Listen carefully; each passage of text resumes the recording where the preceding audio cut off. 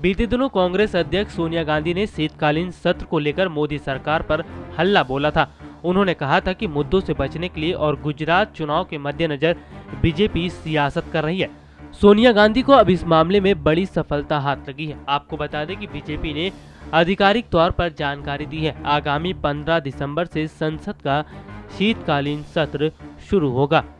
संसदीय कार्य मंत्री अनंत कुमार ने इस बात की जानकारी देते हुए कहा कि गृह मंत्री राजनाथ सिंह की अध्यक्षता में संसद में हुई बैठक में ये फैसला लिया गया कि शीतकालीन सत्र 14 दिन का होगा। उन्होंने बताया कि पहले भी कई बार संसद का शीतकालीन सत्र दिसंबर में बुलाया गया है और ये जनवरी तक चला है।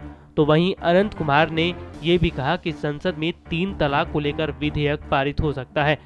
गौरतलब है कि सोनिया गांधी के बाद कांग्रेस के वरिष्ठ नेता मल्लिकार्जुन खड़गे ने शीतकालीन सत्र में देरी पर तलक लहजे में प्रधानमंत्री नरेंद्र मोदी के बारे में कहा था कि वो संसार के रचयिता ब्रह्मा है।